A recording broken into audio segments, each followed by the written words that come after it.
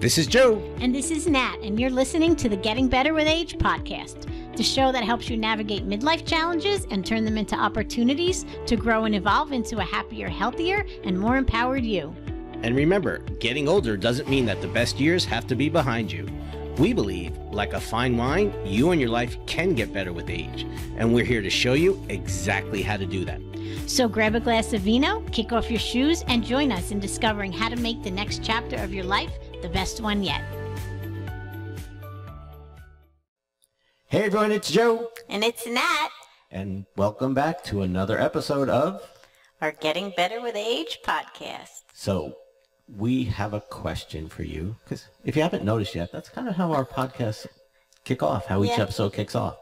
Because I feel the only way to get the true answers in life is to ask better questions. So we're going to start with this. If you were to step out of your life, right? So you go up in the heavens and you're looking down on your life and you say, are you really happy with who you are? Now, if you're courageous enough to say no, there are some things that I really don't like. There are things that I really want to improve. There are things I want to get better at. There are things that I suck at.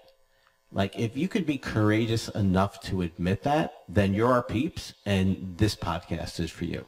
And if not, that's okay. Just live in delusion, shut this off, and go out and have, have a great day. Um, so today we're going to talk about how to tap into you how to connect to the person that you truly want to be. So now we're very transparent on this journey. So if I were to ask you if you are happy with who you really are and where you're at in your life, what would you say? I would have to say no. But you got a great husband, you got great kids, you got a roof over your head. I don't get it. Why would you say no?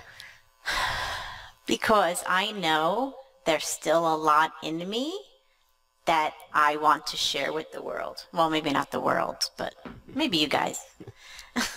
anyway, like you know, Wayne Dyer once said, "He, um, I don't want to die with the music still in me." Right? That was Wayne Dyer. Yep. Yes, I was right.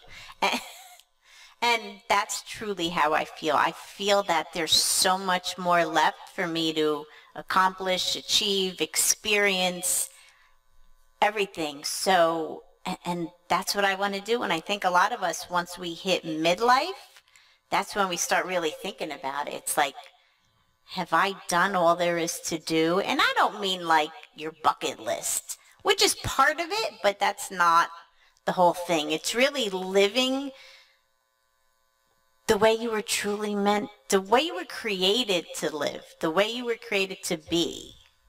And, and I think that's so important because those bucket lists, those things are cool, mm-hmm. right?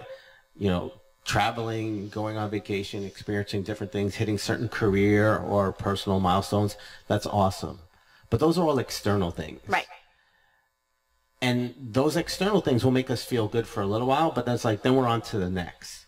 But I think what we're talking about is those things that internally bring us joy, bring us peace, bring us fulfillment, so that when we get to the end, and, you know, I've shared this is my goal, when I get to the end of my goal, end of my life, and I make my transition, like I want to go with a smile on my face and a full and grateful heart. Mm-hmm. And I think we get to this point in midlife, and if you're listening, I hope you can relate to this, where we've done all the things we're supposed to do, right? We go to school, yeah. we get an education, we get married, we get have kids, we save some money, all those have nice vacations, nice lives, and then we get to the point where it's like, well, wait a minute, you know, and as you get older and you start losing your parents and, you know, friends, you know, some of us are at that stage where we lost a couple of friends and people mm. who are mm. close to us. And we start really looking at it going, what's it really about? Like, who am I? You know, that magical question, who am I really? And I think it's about connecting to who you truly want to be. Because I think go from this point, looking back, we were being somebody that we thought we were supposed to supposed be. Supposed to be, yep. Right? And now we go, but wait a minute. I was being that person that I was supposed to be. I was doing all the right things. And yet there's still something missing. Yeah, there's a lot of joy. There's a lot of gratitude for some of those things. But there's still so much more. And, and I think this, where we're at in this stage, if you can see it as that, it's truly a blessing. And it's not a midlife crisis but it's really a midlife calling to say, okay, who am I really? Who do I want to be? Right. And it doesn't have to be this big, grandiose life purpose. You know, we've talked about this before. It could just be little things that bring out the best in you and to and to help you really feel that you are living your best life. And you know, just for example, just this week, um, the past couple days I haven't been in a really good place. I had a tough time with things and Joe and I were talking and you know sometimes when you're talking and you have like this aha moment this moment brought me back to when I was 10 years old and I'll never forget this moment lives in my conscious all the time rent free it was the day my grandfather died. I was 10 years old. And I was sitting on my bedroom floor. My parents kept us home from school that day. And I was reading a book, and I'll never forget, it was Holly Hobbie. It was a Holly Hobbie book. Oh, my sister had a Holly Hobbie oven. I remember that. I did too. anyway. Shows how old we are. People, some people go, Holly Holly Hobbie. We can tell that to our kids. Who the Holly? You know, does, how many followers does she have on Instagram? I know. Maybe she'd have a lot. I don't know. Um, so anyway, so I was reading my Holly Hobbie book and I started singing the words because I always like to sing. And listen, I'm not a singer in any sense of the word, but I always liked to sing. So I'm singing the words and, and my mother passed by my room and she goes, Grandpa just died. I can't believe you're singing. Just stop it. And I was like, I'm 10. So I'm like, I had no idea that it was a bad thing. But that created, it, it kind of changed the trajectory of my life in a sense because it made me feel that if I'm doing something that really makes me happy, that it's wrong. Right. That that's where you discover is I can't be who I really am. I have Right. to be a version of who somebody else wants me to be. And I know a lot of you are listening to this. It may not be about singing. It may be about your grades, the way you look, the way you dress, the way you, what you, whatever it was for you.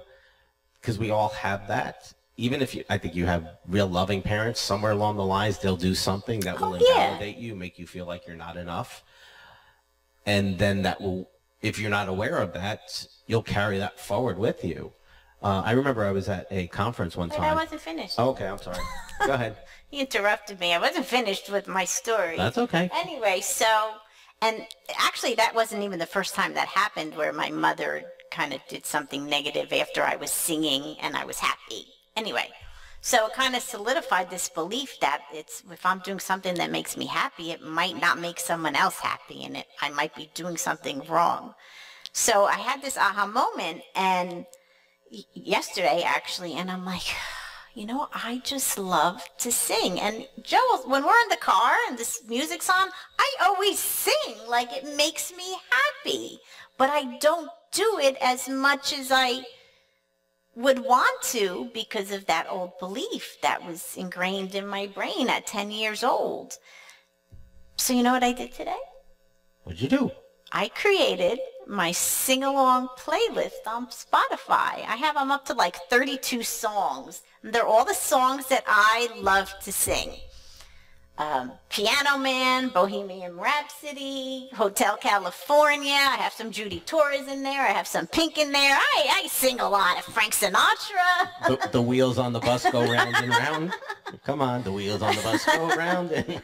But anyway, and and I I was so happy doing it. And as I was going through the songs, I was like singing pieces of it, and I was happy. Right. And, and I think that's that's what we're talking about. It's connecting to who you want to ah. be, because we live in a world where it's so indoctrinated. To be special, you have to look a certain way. You have to live a certain way. You have to pray a certain way, and it's all other people's versions of who they think we should be, or telling us who to be instead of, and again, very often our parents mean real well. Oh yeah, I'm not blaming Right. her. They just do what they were taught. You know, the sins of the father are passed to the son, kind of. It's that they don't know any better, and that's what they learned from from their parents. But when we see that it's about getting to this point of waking up, you know, I was reading something yesterday. Um, it's from Gregg Braden. If you don't know Gregg Braden, go Google him. He's pretty cool. But he's like a big metaphysical guy. And he was talking about every human being is on a journey. And he's like, that journey is 18 inches and it's getting out of your head and connecting to your heart and who you really are. And you really look at it, I'm like, wow. And Only and 18 said, inches. and he said some people that journey will take months, some people will take years. He's like, some people will take a lifetime and they don't even get it. And I think that's where we all have to walk our own individual path and ultimately become conscious to discover who we really are and who we want to be. And I think that's the beautiful part. You can kind of create the future because I think most people are just repeating their past. Right. And if you look back at their life today, it's really not that much different than it was uh, last year, five years ago. Yeah, some things will change, but for the most part, who they who they are and how they've been living, unless they've done some kind of, is pretty much the same person. You know, we we all know people who are negative, and they've been negative For a as long as- time. as we know them, right? The doom and gloom people. And we, we all know people who are just really happy. The opposite, yeah. They're optimistic, they're full of hope, and they're just great people and fun to be around. So I think in this journey, we all experience things that are very similar. And I think that's a really cool thing because it helps us say, hey, you know what? You can go make it happen. Yeah. Well, you could tell your story now. I wasn't finished with mine. I, I forgot. As, as on brain You were at a conference. Oh yes, yes, yes. Oh yes. Uh, and again, sometimes you experience things and it just sticks with you. I was at a, a conference about 15 years ago, and there was this gentleman in the audience, and it was all about kind of what we're talking about today, breaking through those limiting stories and beliefs and things that have impacted you and, and held you back from being your true self. And he shared this story. Now, this guy was in his 60s at the time.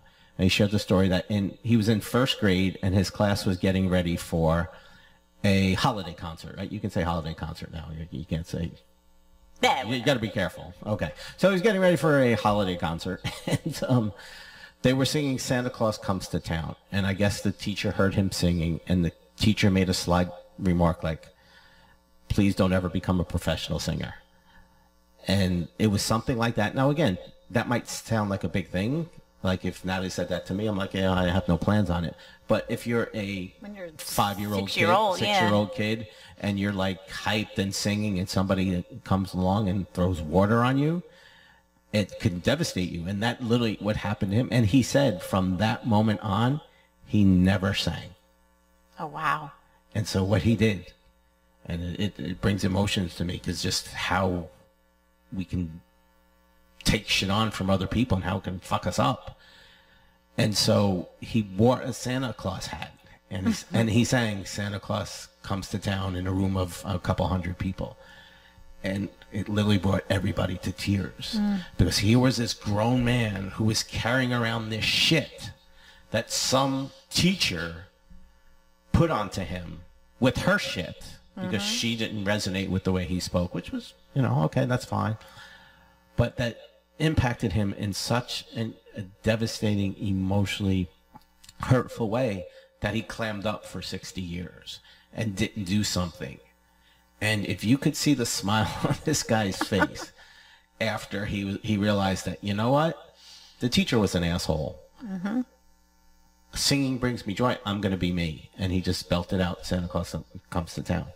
And so, you know, that's kind of why we're sharing this with you is that this journey is about becoming who you want to be. There's, you know, if you're at that midpoint like we are, there's a lot of time left on the clock. Mm-hmm. And yes, tomorrow may- may not be guaranteed, but we don't know that it's guaranteed not to guaranteed. anyone, no, no matter what Right. age you are. so it's let's go forward and let's make the most of the time that we have left, not only for ourselves, but I think for other people. Because I think when we're not being our true authentic self, we rob the world of our true divine essence. Mm. And I think that's re- we were created to sing. If that's your calling like look if, if you have you no desire to sing and, and you hate singing then then don't go make a playlist of you know, you know of sing-alongs. But whatever lights you up and and go do that and and don't listen to what the fuck anybody else says.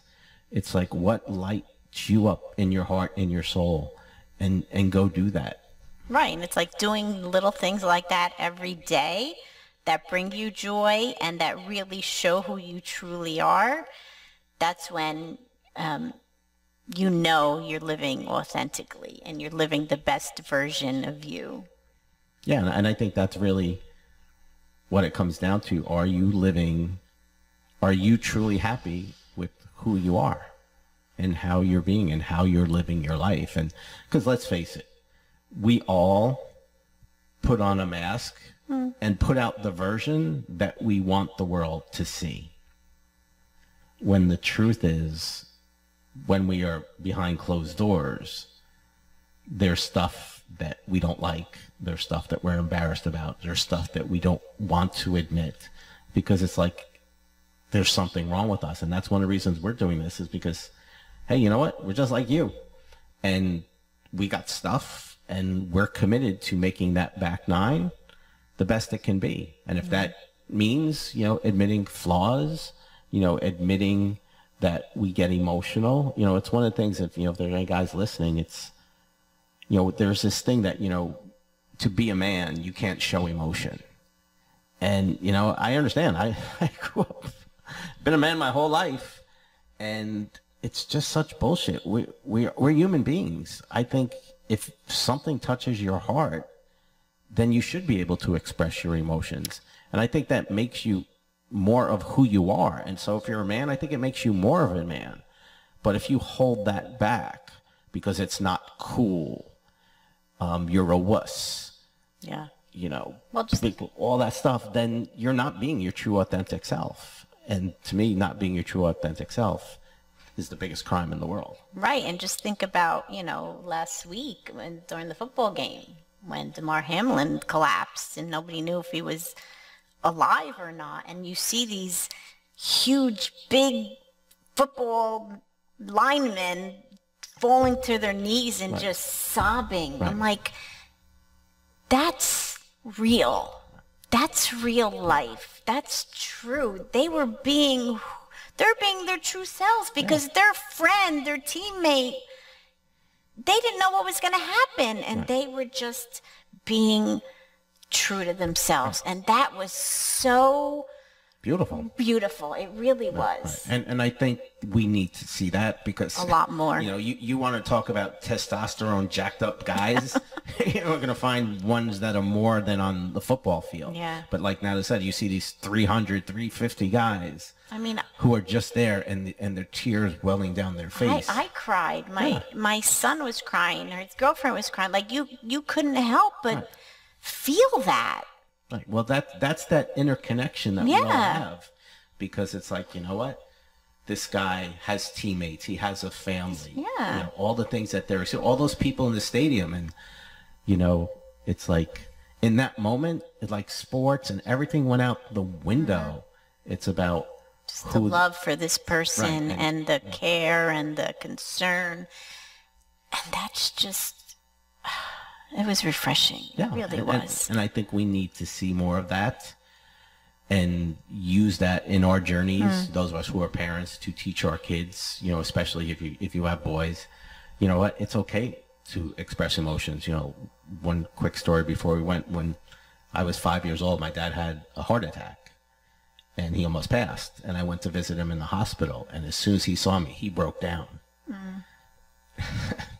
now, my dad was my hero and to see my hero break down and become vulnerable, it didn't scare me, but it made me see that it's okay to cry mm-hmm. and it's okay to sh- show emotions. It didn't make him less of a man in my eyes. It made him more of a man. And I think that's what we really need to see is that let's just be real Yeah. We've been given this gift called life. yeah, shit's gonna happen. Oh yeah. You know, life's gonna kick you down. It's gonna bring you to your knees. It's gonna make you go, "What the fuck?" But then there are so many moments of pure joy, and we have the power, the ability to create the life that we truly desire in our hearts. But it's us up to us to go make it happen. So. I'm kind of drained after that one, wifey. So you might, you might See, Joe cried in this one. Natalie did. And could, honestly, every time I told that story about when I was 10, I usually cry, but I've only ever told it to my husband. Anyway, um, so think about this. We always leave you with some homework. So today, what I want you to do is really sit and think about what is something that you can do today or tomorrow that will not only bring you true joy, but will show the how authentic you are, where you are really truly being you, the you that you want to be, the you that you were meant to be, the you that you love inside. Yeah, go do something that lights you up, irregardless of what other people w- are going to say, what they're going to think. Mm-hmm. And then after you do that, just notice how you feel. Yeah. Right? Because it's about that's tapping into your truth. It's tapping into your divine power. It's following your heart to do what lights you up. And when you see you do that, it's like, hey, that feels good. So maybe I can do that again and again. You know what I'm going to do? I'm going to sing. and you know what? I'm going to dance because I love to dance too. Even though my kids make fun of me, I don't care. I'm doing it. That's it. I don't, I don't know. I'm gonna have to think of what I'm gonna do.